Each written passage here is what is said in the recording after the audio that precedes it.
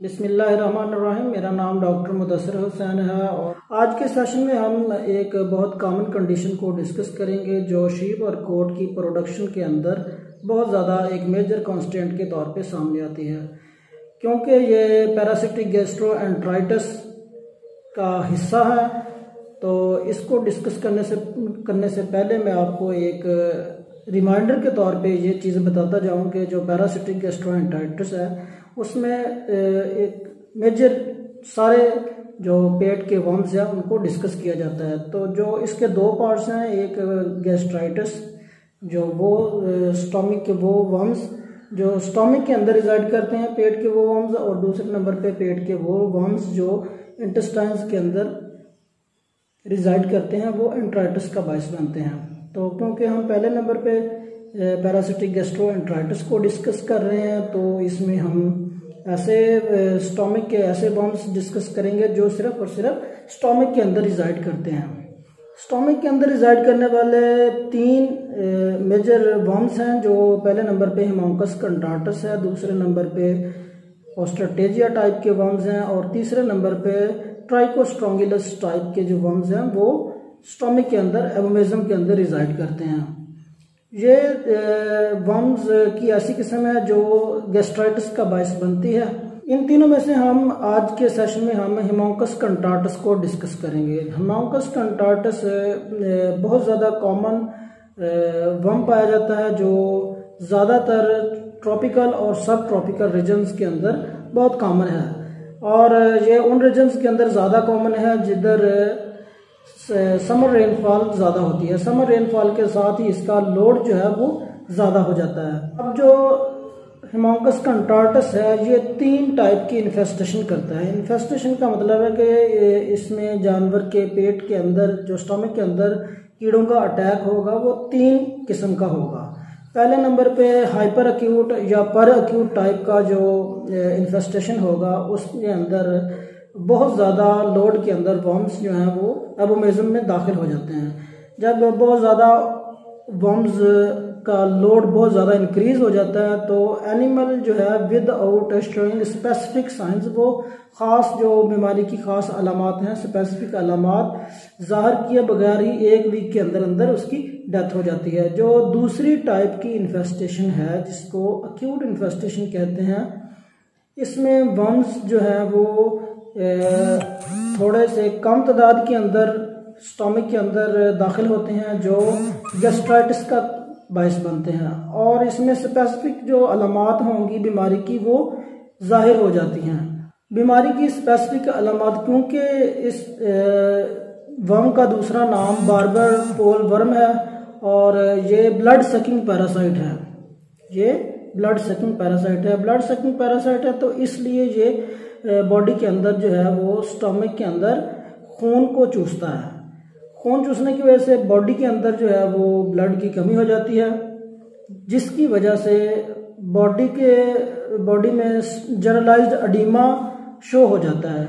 Generalised oedema से मुराद ये है कि जानवर की जो टांगे हैं, उसका जो पेट का निचला हिस्सा है और जो जबड़े के नीचे की जगह है, ये इन जगहों पे सोजश हो जाती है। वो ऐसी सोजिश होती है कि आप अंगूठे के साथ या उंगली के साथ उसको प्रेस करें तो उसमें निशान बन जाते हैं। पिट ऑन प्रेशर अडीमा हो जाता है। पिट ऑन प्रेशर अडीमा तब बॉडी के अंदर होता है जब हीमोग्लोबिन की अमाउंट जो है प्रोटीन लॉस होने की वजह से बॉडी के अंदर प्रोटीन की कमी हो जाती है और जो खून के अंदर पानी होता है वो ग्रेविटी की वजह से जो बॉडी के निचले हिस्से हैं, उधर जमा होना शुरू हो जाता है।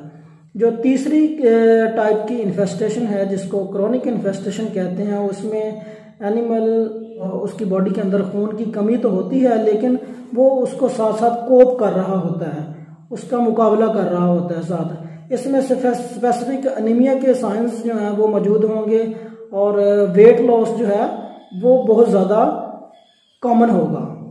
अब मैं आपको कुछ ऐसे केसेस जो रिकॉर्ड किए गए किए गए हैं हिमोकस कंटार्टस के क्रोनिक स्टेज इन्फेस्टेशन के और अक्यूट इन्फेस्टेशन के, वो आपको दिखाऊँगा ताकि आप लोगों को एक आइडिया हो जाए कि फ़ील्ड के अंदर कैसे जो है इसको डायग्नोज करना है, इसकी ट्रीटमेंट क्या करनी है और इसकी प्रोफाइलेक्टिक मेजर्स क्या अडॉप्ट करनी है।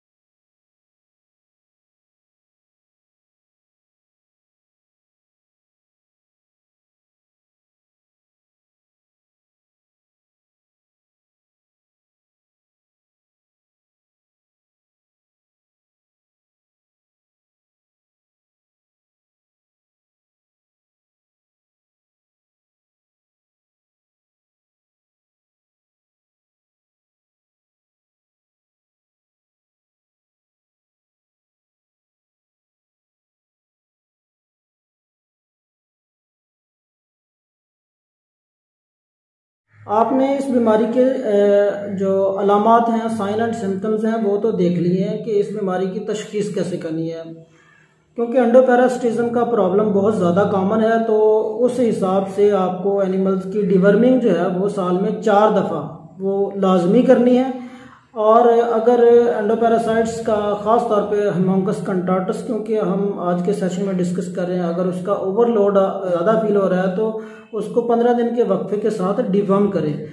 पंद्रह दिन के वक्फे के साथ उसको इसलिए डिवर्म करना है, क्योंकि जब इन्वायरमेंटल टेम्परेचर काफ़ी कम हो जाता है, सर्दी का मौसम आता है तो वो हिपोबायोसिस में चले जाते हैं। एबोमेज़म की जो सब मिकोजा है, उसके अंदर मौजूद रहते हैं। यूँ ही बाहर का टेम्परेचर जो है, वो इंक्रीज़ करता है। समर सीज़न आता है तो हिपोबायोसिस के अंदर मौजूद लार्वे अरेस्टेड लार्वे एक्टिवेट होते हैं और एक्टिवेशन के बाद वो वम लोड को और ज़्यादा इंक्रीज़ कर देते हैं।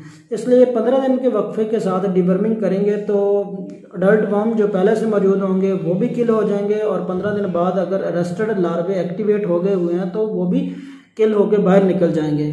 तो इसमें आपने मेडिसिन कौन सी यूज़ करनी है? मेडिसिन के हवाले से एल्बेंडाजोल आइवरमेक्टन और साथ में ऑक्सफेंडाजोल, ये साल्ट कॉमनली यूज़ होते हैं। ये सारे साल्ट काम करते हैं और एक काफ़ी ज़्यादा फ़ील्ड के अंदर कन्फ्यूज़न पाई जाती है कि यूँ ही लोग बॉटल जा का साइन देखते हैं। ये जो जबड़े के नीचे सोजश निकलती है, उसका साइन देखते हैं तो काफ़ी जो फ़ील्ड के लोग हैं वो डिक्लेयर कर देते हैं कि लिवर फ्लू का जो अटैक हो गया है।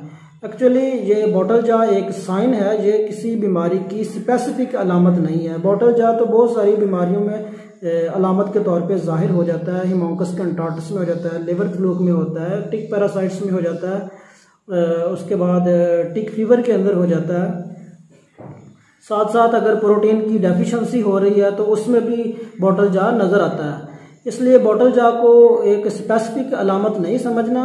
उसकी ट्रीटमेंट करने के हवाले से लोग नाइट्रोक्सिनिल का साल्ट जो है, वो यूज़ करते हैं। नाइट्रोक्सिनिल एक्चुअली लिवर फ्लू पे भी काम करता है और साथ में हिमोंकस कंटार्टस नीमाटोड्स इस पे भी काम करता है। रिज़ल्ट इसलिए देता है क्योंकि ये दोनों पे काम करता है, इसलिए इस कन्फ्यूज़न को क्लियर करें कि ये बॉटल जार लिवर फ्लू की अलामत नहीं है। लिवर फ्लू में भी होता है मोंकस कंट्राटस में भी होता है। और भी बहुत सारी कंडीशंस में बॉटल जार की जो अलामत है, वो नज़र आती है। ट्रीटमेंट मैंने आपको बता दी है। आप लोगों ने पंद्रह दिन के वक्फे के साथ, अगर बहुत ज़्यादा ओवरलोड है तो पंद्रह दिन के वक्फे के साथ इसकी डिवर्मिंग करनी है। वैसे साल के अंदर तीन से चार मरतबा वो ईपीजी e पे डिपेंड करता है कि एग पैरासिटिक काउंट कितना है ईपीजी एग्स पर ग्राम कितने हैं। तो उस हिसाब से डिवर्मिंग जो है वो शेड्यूल करनी है। लेकिन अगर इंडिविजुअली एनिमल के केसेस आ रहे हैं तो आप इंडिविजुअली एनिमल्स की, को डिवर्म कर सकते हैं, ताकि वो दूसरे एनिमल्स को इन्फेस्ट करने के लिए और ज़्यादा वर्म्स पैदा करने का बायस न बने। आप इस वीडियो को चैनल को सब्सक्राइब करें, ताकि आपको जो इन्फॉर्मेशन मिल रही है और जो मज़ीद वीडियोस बनाई जाएँगी, वो भी आपको मिले और आप इस वीडियो को ज़्यादा से ज़्यादा शेयर करें ताकि और भी लोगों का फ़ायदा हो और और लोग भी इस इंफॉर्मेशन से जो है वो मुस्तफ़ हो सकें।